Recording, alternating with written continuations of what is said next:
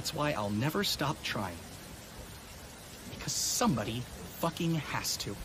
So, what are you gonna do if things don't work out? I don't know. But whether they do or they don't, one of these days I'm going to close up camp for the last time. So the more I can make of what I have today, the more I can walk away with when it's gone.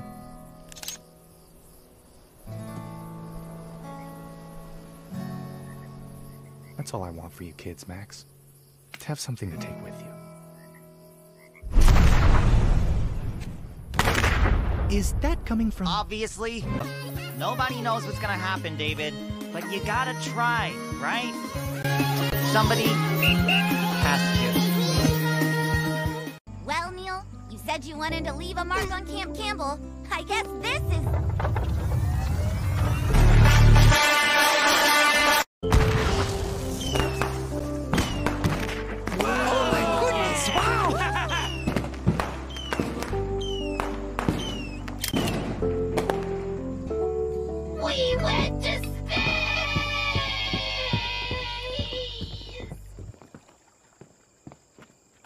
Aww.